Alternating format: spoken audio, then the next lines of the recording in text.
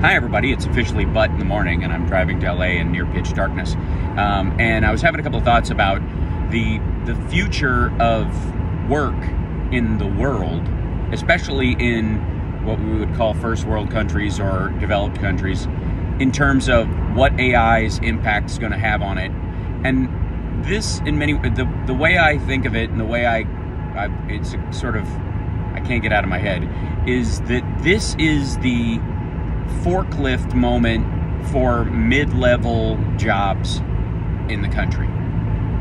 This is the moment where it used to take eight physically fit, large dudes to lift some sort of giant pallet full of stuff and carry it from one place to another in a warehouse or whatever. And then somebody decided to put wheels on it, but it still took two guys to push it. And then somebody attached an engine to those wheels and to the lift itself, and now one guy can do it. And if you know, we're if you look at sort of some of some of the Amazon warehouse robots, there's a minor version of a human, like a, a humanless uh, forklift that's now running. That that the the physical job of moving something heavy faded from taking six people to four people to two people to no people.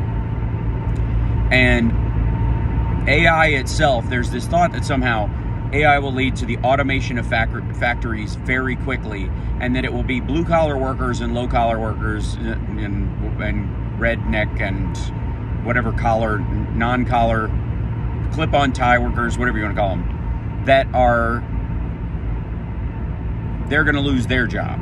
They're going to this is they're they were going to be the people affected the most by the by the modern tech computerized world that we live in. And it's from an AI standpoint, that's not at all what's happening.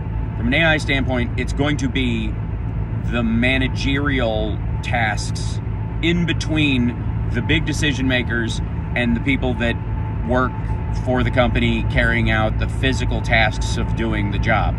Um, if you look at fast food, for example, you're in the people who actually pick up the food from the kitchen and and give it to someone. Um, for the time being, are the safest job in the place because the cooks will be replaced faster than they will. The person that's gonna go from a fast food place is going to be the manager. If you want to talk to a manager at some point, it's gonna be a screen. It's gonna be somebody.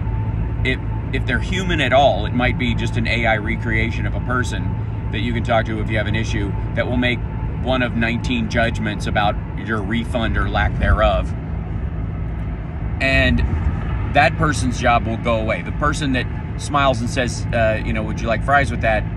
That's a thing that most people aren't going to want to give up when they go eat someplace, especially if they're going inside and not pulling up to what is effectively a giant vending machine. So when that happens, there are two things. One is the what is effectively quote unquote the lower class does way better because to make them keep doing what's relative, a relatively menial job where they have to deal with the public is going to be more expensive because they're not going to want to talk to assholes like you and me um, for six dollars an hour. If they're going to have to deal with sort of the blowback of customers before you say talk to the screen, they're going to want to be paid better. And so you're seeing an increase already in those frontline jobs and what they pay the and then you'll see a lot of CEO and and top level pay based on how investors do from how well the company is doing. You invest in, you know, McDonald's Plus or whatever it'll be in the future, and there'll be two sets of employees that you really think about: the people who make all the grand decisions about what kind of products they're going to put forward, and you know the marketing ideas around that. And then there's going to be the people who literally sling the stuff Everybody in the middle is going to be the people who are going to be unnecessary first.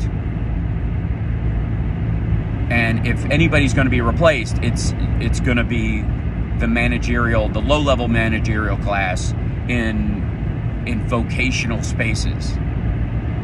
Which does two things. One is it raises the pay of everybody on the low end and on the high end because you're not paying the middle level in this. It squeezes middle class jobs specifically around, you know, repetitive, uh, what would be intellectually repetitive tasks. And as we become a, you know, a brain oriented culture, as opposed to a back-oriented culture, which is where all developed societies move from and to. Um,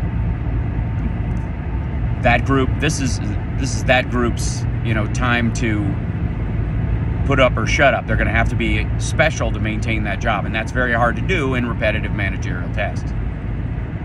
So the unintended consequence of that seems, and by the way, it seems very good. If you want to just get a little job where you're slinging hash and you're, you know, you're working at a fast food or a clothing store or someplace where you interact with the public while you're putting yourself through school to get a, a giant brain job as opposed to a mid-level brain job you can do that because you'll make more because it'll be harder to attract people and those will be the you know that'll be the interaction of life that everybody's looking for. The problem is it also takes out any of the rungs. Anybody who would work their way up quote unquote like through a company will effectively vanish. It's it's taking you know six rungs out of the middle of the ladder eventually.